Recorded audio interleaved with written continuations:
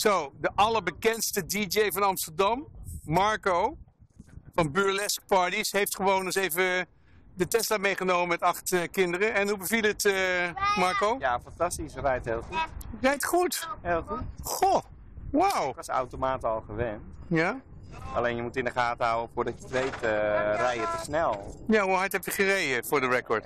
Gewoon wat mag. en dan dubbel. Voordat je het weet, rij je dubbel zo snel. Ja. Ik kon het niet laten, maar... eh, Nee, ik was netjes hoor. Ja, ja. Maar wat vind je nou van zo'n eh, elektrisch rijden? Wordt dat wat? Ja, zeker. Hm. Zeker. Als je nog langer natuurlijk, als die accu spe- steeds beter worden.